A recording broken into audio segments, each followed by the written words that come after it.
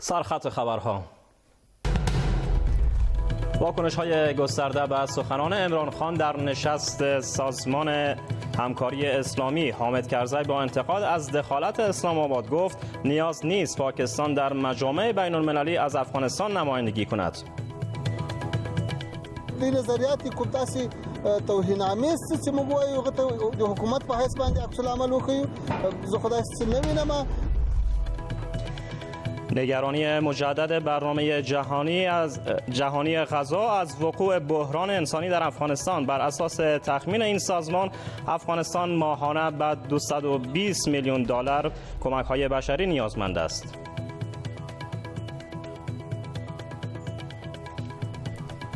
و افزایش قربانیان طوفان مرگبار در فیلیپین منابع از جان باختن دستکم 208 نفر و ناپدید شدن 10 تن دیگر خبر دادند. طوفان زده را از نزدیک دیدم.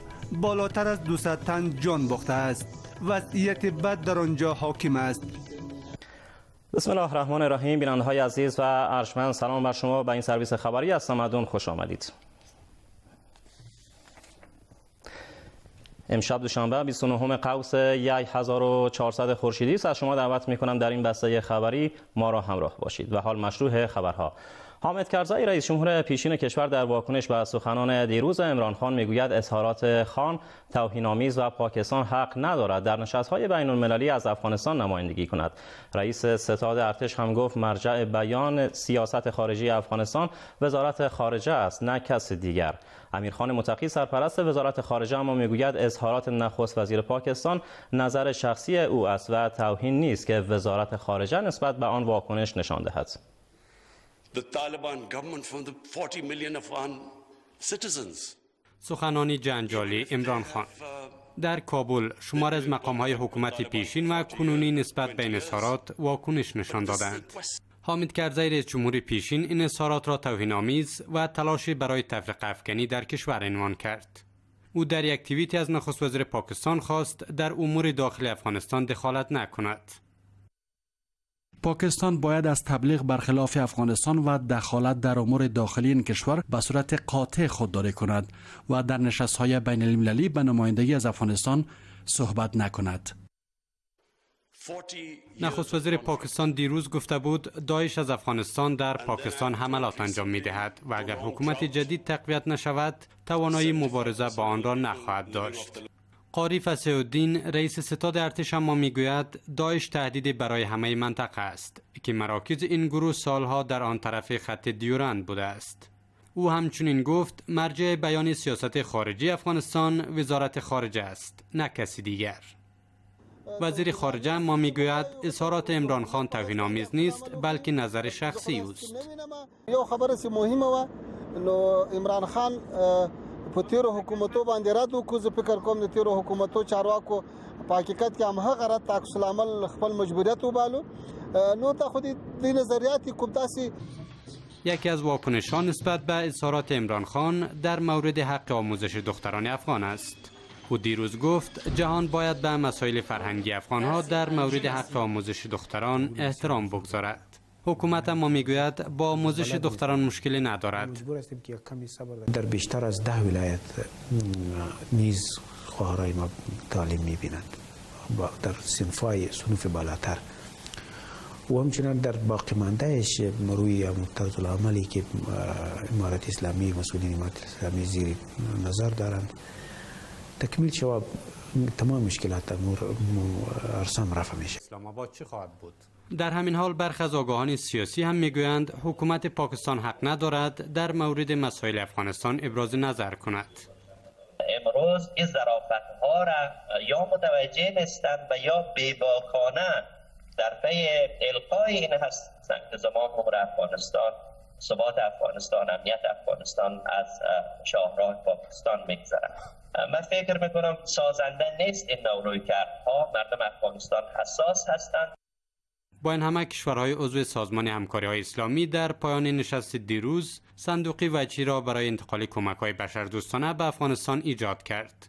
مسئولیت هماهنگی این کمک ها را طارق علی بخید نماینده جدید این سازمان در مورد افغانستان به عهده دارد. از سوی هم تام وست نماینده ویژه امریکا برای صلح افغانستان از برگزاری این نشست استقبال کرده است. برای بحث بیشتر این خبر گفتگوی داشتم با طارق فرهادی آگاه مسائل سیاسی و از او پرسیدم که صحبت‌های دیروز امران خان در نشست سازمان همکاری اسلامی چگونه بود؟ آیا آنچه که حامد کرزی می‌گوید دخالت و توهین به مردم افغانستان است؟ بهتر از سخنان امران خان از یاد اهمیت نتیم در افغانستان هیچ سنت نیست که مخالف تعلیم و تربیه دخترها باشند. بله. و از سالهای مزید زنان از همه جوانب افغانستان تعلیم دیدند. و امروز هم حکومت باید تعلیم رایش باز بگذاره برای دوشیزگان در افغانستان و بهترین راه همی است. در حقیقت در اسلام اولین مربی یک طفل مادرش است. بله. اگر مادر تعلیمش هر چقدر تکمیل باشه امو طفل تعلیمش مکمل تر میشه. بله. خان دیروز اشاره به حضور داعش در افغانستان داشتن و گفتن که حضور داعش یک تهدیدی برای پاکستان هست از افغانستان از درون افغانستان و حامد کرزی را رد کردن. نظر شما در رابطه با حضور داعش آیا تهدیدی واقعا هست برای پاکستان و چرا عمران خان همچین سخنان رو می‌زنه؟ بله. حضور داعش در افغانستان یک تهدید است برای منطقه. اما امران خان حکومتش چند روز پیش کوشش کرد که با تی تی پی صلح کنه. حرفای امران خان زد و نقیز است. داعش یک خطر است. و, وظیفه طالبان است که داعش با مذاکرات کوشش کنند که متقاعد بسازن از اینکه از جنگ دست بکشه به خاطری که بعضی اعضای داعش هم اعضای سابق طالبان هستند که او طرف رفتن. و خطر از این است که بیشتر اعضای طالبان او طرف ورن پس ما در یک برهه بسیار حساس قرار داریم که وظیفه حکومت و زعمای حکومت است که با کسانی که در داعش اینجا هستند تنها به جنگ پیش آمد نکنند و کوشش کنند که اونها را متقاعد بسازند که جنگ راه حل نیست برای یک ملکی که فعلا مشکلات زیاد داره و در فقر به سر می‌بره بله. آقای همواره شاهد از این بودیم که در نظام قبلی افغانستان پاکستان متهم درجه یک دخالت در امور داخلی افغانستان بود. حالا با تغییر نظام و روی کار آمدن حکومت جدید در افغانستان چه فکر می‌کنید؟ آیا پاکستان به دنبال دخالت در امور افغانستان هست در امور داخلی کشور؟ و یا اینکه واقعا دنبال کمک رسانی به مردم و ملت افغانستان هست؟ پاکستان از تقریبا چهل سال به این طرف در مسائل افغانستان دست دراز داره و خود باعث یک برادر بزرگ معرفی می‌کنه در باقی دنیا برای افغانستان. و بعضی وقت هم می‌خواه که خود باعث کفیل معرفی کنه در باقی دنیا برای افغانستان. ما بیشتر آرزومند هستم که زعما در افغانستان نقش خود کاملتر بازی کنند و کوشش کنند که صدای افغانستان خودش شنیده شود. در صورت کسی در دنیا صدای پاکستان باز اهمیت هم نمیده گفتگویی بود با طارق فرهادی آگاه مسائل سیاسی از جنوای سوئیس. معین عرضه خدمات صحی وزارت صحت آمد در دومین روز سفرش به ولایت هرات بر نظارت جدی از شفاخانه ها در این ولایت تاکید کرد. همزمان با این کمیته ملی نظارت بر امور صحی نیز از سوی وزارت صحت آمد در این ولایت ایجاد شده و قرار است نهادهای صحی که به صورت غیر معیاری فعالیت می کنند مسدود شوند. تعیین خط و نشان وزارت صحت عامه کشور به شفاخانه های خصوصی هرات. می‌گویند کار غیر معیاری و خلاف قوانین در سکتور صحت افغانستان جای ندارد. معین عرضه خدمات صحی وزارت صحت عامه در دومین روز سفرش به هرات می‌گوید به هدف معیاری سازی سکتور صحی به این ولایت آمده. او همچنین از ایجاد کمیته ملی صحی برای نظارت از وضعیت عرضه خدمات صحی در 34 ولایت کشور خبر داده و گفته این کمیته صلاحیت مسدود ساختن نهادهای غیرمعیاری صحی را دارد. کمیته ملی نظارت از سیستم صحی نظارت از سیستم صحی متشکل از افراد مختلف برادران رسمی صحت عامه هستند اینها راپورها را جمع آوری می کند باز اینها می تواند که او شفاخانه ها و دواخانه هایی که شرکت هایی که جواز ندارد و کارهایشان غیر معیاری پیش میره کارهایشان غیر اصول و خلاف اصول قانون تبابت و خلاف اصول شریعت پیش میرد. آنها را مسدود کند. این مقام صحی کشور همچنین از شماری از شفاخانه ها و دواخانه های سطح شهر هرات نظارت کرده می‌گوید کارها نسبتا غیر اصولی است و در راستای مسدودسازی و یا تعیین جریمه به این نهادها تصمیم گرفته خواهد شد. و کمیته که ما ایجا کردیم به خاطر ارزیابی و نظارت سکتور خصوصی و دولتی. بعدا آنها کار خود را شروع می کند و هر روز به ساحات مختلف شهر به ولسوالی های مختلف ولایت هرات آنها شاید سفر داشته باشد و همه سیستم را باید به شکل درست ارزیابی کند تا سیستم معیاری شود مردم هرات نیز از نظارت بر شفاخانه ها استقبال می کنند و خواهان دوام این روند و تحکیم کیفیت در بخش های خصوصی و دولتی اند.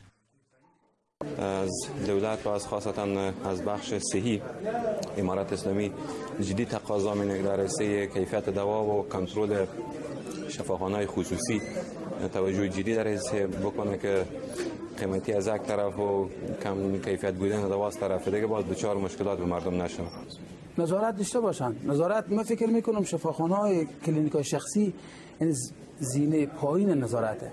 اول نظارت از شفاخانه دولتی باشه. قبل از او باید دواهایی که وارد میشه از گمرکاتی که میه متاسفانه ما شما به حال هم شاهد هستیم که بعضی کارهای صورت می‌گیره. از سوی هم با سفر معین عرضه خدمات صحی وزارت صحت عامه رئیس جدید اداره صحت هرات هم معرفی شد. از او خواسته شده تا در امر تطبیق برنامه ها و قوانین صحی جدی عمل کند. با فرا رسیدن زمستان و سرد شدن هوا مسئولین شفاخانه کووید 19 در قندهار از افزایش بیماران کرونایی در این ولایت خبر می‌دهند. این در حالی است که پیش از این مسئولان شفاخانه افغان ژاپن نیز اعلام کرده بودند که با سرد شدن هوا موارد مثبت کرونا در کشور در حال افزایش است. با این حال در چهار ماه گذشته بیش از سی مرکز رسیدگی به بیماران کرونایی در کشور مسدود شدند. پس از تحولات اخیر در کشور آمار دقیق از بیماران کرونایی در دست نیست. مسئولان ما می‌گویند شمار مراجعین به شفاخانه ها نشانگر آن است که آمار مبتلایان در کشور در هفته ها و روزهای پسین افزایش یافته است. چنان که دکتران در شفاخانه حوزوی کوید 19 در قندهار از افزایش این ویروس خبر می‌دهند. زه خوشبختانه وایم چې زمونږ په قندار کې تر اوسه پورې ان شاء الله کوم داسې زیات خطر سره مواجه نه یو خو په مجموع کې لکه څنګه چې په همسایه ملکونو کې پیدا کیږي پیښې زمونږ پیښې مخبل وړېدو دي او شته پیښې ډېرې دي. وای کرونا ده. نو د کرونا د تشخیص وکړي بیا ولدا من په ثابته وخت لګا د تراوس عذاب وسم والشوق د شامه المخ ډیر په عذاب ته مم کده تخمیم کده ډیر با این حال مسئولین شفاخانه کوید 19 در قندهار از وجود امکانات و وسایل پیشرفته در این شفاخانه سخن میزنند. دلته خو مریضان دغه روغتون ته بیخي زیات مریضان مراجعه کوي ځکه چې په نورو روغتونو کې دغه تداوی او د مریضانو دغه مراقبت په بل روغتون کې نه کیږي ځکه دلته موږ ته هغه مریضان راځي چې هغه ډیر شدید وخیم مریضان دي. هغه کریټیکل مریضان موږ په اصطلاح کریټیکل مریضان ورته وایي چې بل ځای ډاکټران تداوی نه کوي او نه کولای شي نه ساتلی شي. نگرانی ها از افزایش موارد مثبت کرونا در حال بالا گرفته که نوع جدید این ویروس تا کنون در نزدیک به 100 کشور جهان به ثبت رسیده است. و حالا چند خبر کوتاه. برنامه جهانی غذا با اشاره به بحران شدید گرسنگی در افغانستان هشدار داده که این بحران فقط یک گام دیگر تا مبدل شدن به یک فاجعه فاصله دارد. به گفته آنان برای رسیدگی به بحران موجود بشری در افغانستان هر ماه به 220 میلیون دلار ضرورت است. سخنگوی برنامه جهانی غذا همچنین گفته اقتصاد افغانستان در حال فروپاشی است و افت ارزش افغانی در برابر اسعار خارجی عرصه را برای مردم تنگتر می کند تا برای خود غذای برای خوردن مهیا کنند.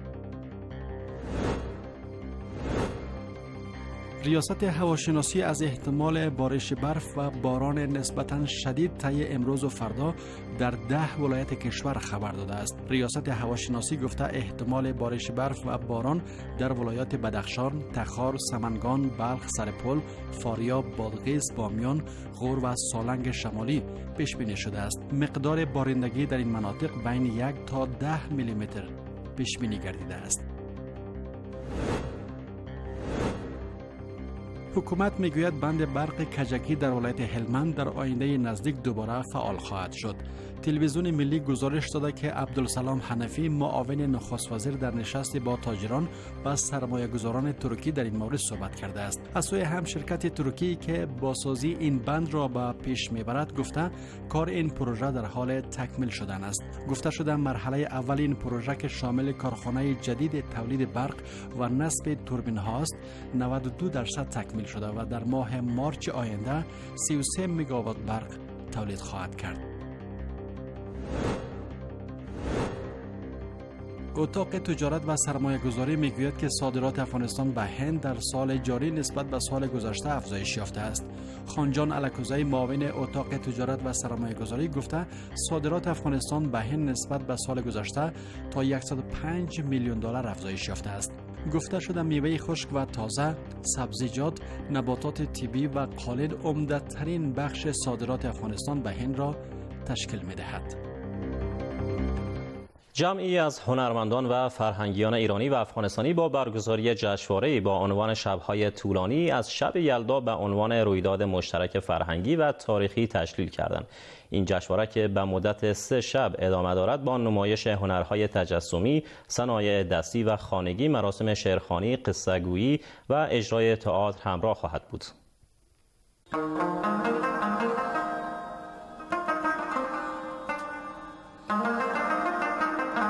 جشنواره فرهنگی هنری شبهای طولانی در تهران برگزار شد. این جشنواره به منظور پاسداشت از بلندترین شب سال به صورت مشترک از سوی فرهنگیان و هنرمندان افغانستان و ایران برگزار گردید. قطعا ما دارای فرهنگ مشترک، زبان مشترک، آینهای مشترک و مراسمات مشترکی هستیم که اینا ریشه در تاریخ کهن در واقع هر دو کشور داره هر دو ملت داره که ریشه های پیوندی بین دو ملت رو کاملا عمیق کرده در این جشنواره تن چند از هنرمندان دو کشور با برگزاری مراسم شعرخانی، قصهخانی، نمایش تئاتر و برگزاری نمایشگاه صنایع دستی و هنرهای تجسمی یلدا این میراث مشترک را گرامی داشتند. ما به لحاظ فرهنگ به لحاظ دین مذهب از هر لحاظ نزدیک هستیم ولی این کار یک چنین نمایشگاه هایی می‌تونه بچه مشترک ما رو نزدیکتر بکنه ارتباطات ما رو می‌تونه دو جانبه خیلی نزدیکتر بکنه و از این بابت ما خیلی خوشحال هستیم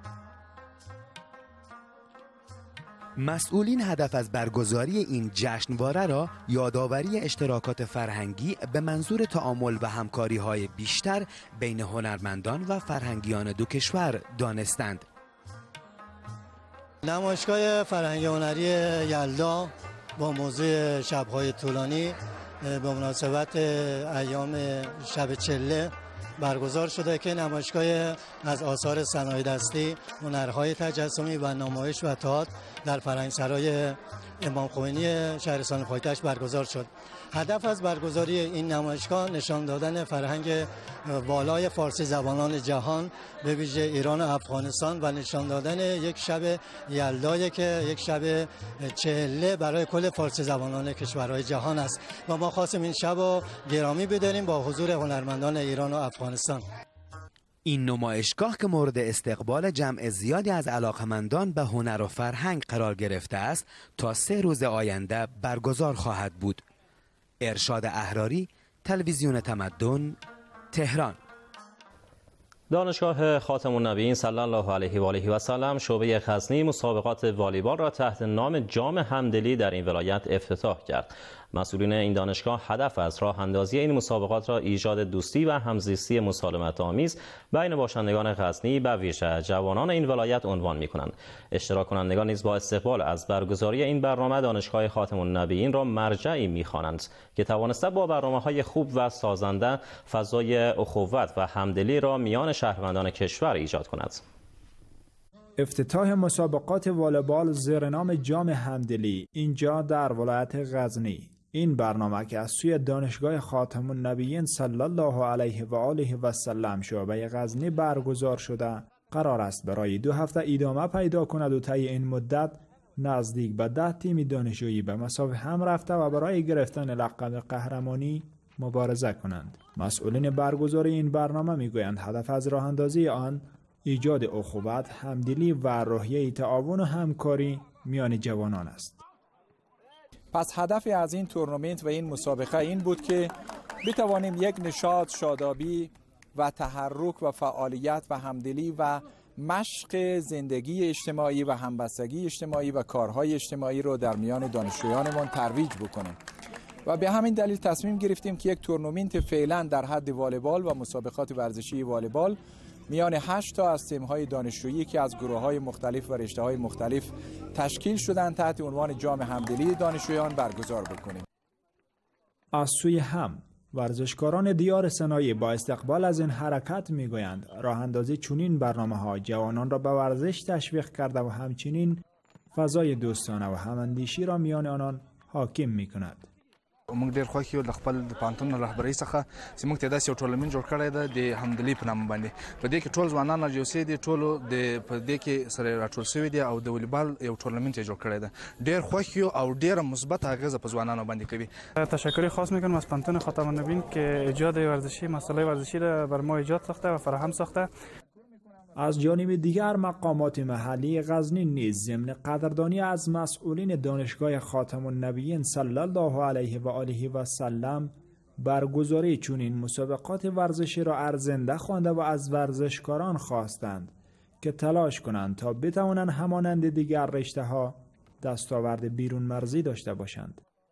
از رهبریت پهنتون خاتم النبیین تشکری خاص می‌کنیم. در نزدیکترین مدت زمان ما این ترتیم هایی داشته باشیم در سطح افغانستان و که این رقابت کند همراه ممالکی که همسایگای ما باشد یا ممالکی که در همجوار ما قرار داشته باشد. با این حال مسئولین دانشگاه خاتم النبیین صلی الله علیه و آله و سلم شعبه غزنی همچنین تصریح می‌کنند. که آنان در تلاشند تا با راه اندازی برنامه های مختلف علمی ورزشی و اجتماعی شعار این نهاد تحصیلی را که همان تعهد و تخصص است به صورت عملی در جامعه پیاده کند. طوفان نیرومند موسوم به رای در فیلیپین جان بیش از 200 تن را گرفته و 209 تن دیگر در این حادثه مجروح شدند. برخی رسانه ها به نقل از مسئولان در فیلیپین گفته تا کنون جسد 208 تن را دریافت کرده و 239 تن دیگر زخم برداشته است. اکثر این قربانیان بر اثر افتادن درختان، فرو ریختن دیوارها، غرق شدن در سیل و لغزش زمین جان دادند. یک مقام محلی فیلیپین نیز گفته است که هنوز آمار تلفات نهایی نیست و ممکن آمار جان باختگان افزایش یابد.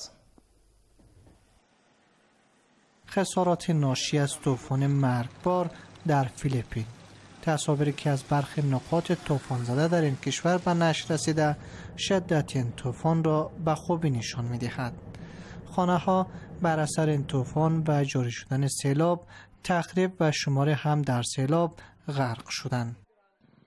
رسانه ها به نقل از مقام ها در فیلیپین گزارش دادند که از روز جمعه بدین سو جسد 208 تن را دریافت کرده و گفته پلیس این کشور تنها روز یک شنبه جسد 52 تن به دست آمده است.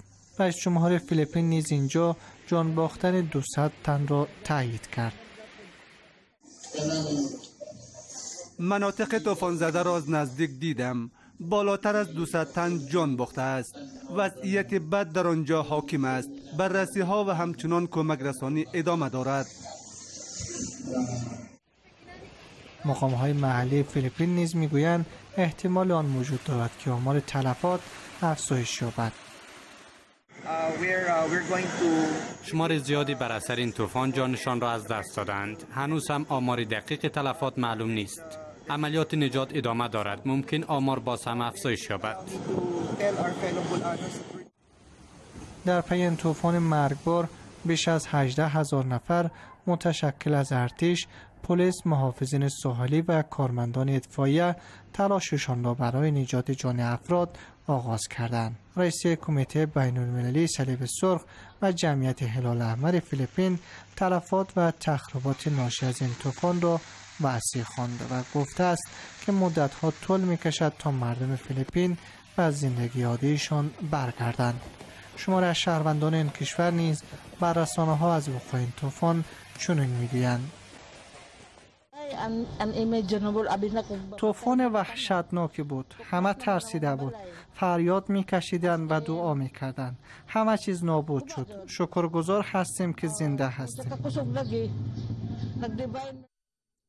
با این حال رئیس جمهور فیلیپین اعلام کرده است که حدود 40 میلیون دلار را برای ساخت و ساز این مناطق اختصاص می دهد. شیوع نوع جدید ویروس کرونا به نام اومیکرون در آستانه تجلیل از سال نو میلادی نگرانی جدی جهانی را برانگیخته است. آنتونی فاوچی مشاور ارشد کاخ سفید هشدار می‌دهد که اومیکرون با سرعت فوق العاده در حال گسترش است و احتمال دارد در تعطیلی کریسمس افراد بیشتری در جهان به آن مبتلا شوند. این مقام صحی آمریکا هشدار داده می‌گوید جهان نباید اومیکرون را دست کم بگیرد. شهردار نیویورک نیز خواستار اقدامات فوری در امر مبارزه با اومیکرون شد. این در حالی است که ایران در تازه ترین مورد از مبتلا شدن یک نفر به اومیکرون خبر داده است. چند سال است که شیوع ویروس کرونا در جهان محافل کلان جهانی از جمله کریسمس را متأثر ساخته است. امسال نیز سال نو میلادی زیر سایه ترس از همگیری نوع جدید کرونا به نام اومیکرون تجلیل خواهد شد. انتونی فوچی مشاور ارشد کاخ سفید در گفتگوی تلویزیونی با سی بی سی نیوز هشدار داد که با در نظر داشت گسترش سره اومیکرون در جهان احتمال دارد که در تعطیلی کریسمس افراد بیشتر مبتلا شوند. او می‌گوید حتی ممکن است مبتلایان به اومیکرون در میان افرادی که قبلا واکسین زده اند نیز افزایش یابد. در این شکی نیست که اومیکرون در جهان در حال گسترش است و جهان را با مشکلات مواجه خواهد ساخت. صرف نظر از اینکه چگونه با اومیکرون نگاه می‌کنیم حتی اگر علایم بیماری خفیف و متوسط هم باشد شفاخانه ها در یک یا دو هفته آینده با مشکلات روبرو خواهد شد. از آنجایی که شیوع اومیکرون در امریکا رو به افزایش است شهردار نیویورک نیز خواهان اقدام فوری شده است. اومیکرون در حال گسترش است و ما باید فورا علیه اومیکرون اقدام کنیم شهر نیویورک هفته گذشته شاهد افزایش قابل توجهی بود بر علاوه امریکا، انگلیس، فرانسه و هلند نیز در معرض شیوع اومیکرون قرار گرفته است. اکثر این کشورها محدودیت هایی را وضع کرده و یا در حال وضع کردن محدودیت ها است. صادق خان شهردار لندن هم از افزایش افراد مبتلا به اومیکرون خبر می دهد. اومیکرون در انگلیس هم به سرعت در حال گسترش است و این یک حادثه بزرگ است که ایجاب تلاش های بیشتر را می کند. ایران نیز به تازگی ثبت یک تن مبتلا به اومیکرون را تایید کرده و گفته که این شهروند ایران به تازگی از امارات متحده عربی به ایران آمده است همکنون اومیکرون حدودا در صد کشور جهان گسترش یافته است و کشورهای جهان برای جلوگیری از همگیری اومیکرون شهروندانش را به تطبیق واکسین توصیه می کنند.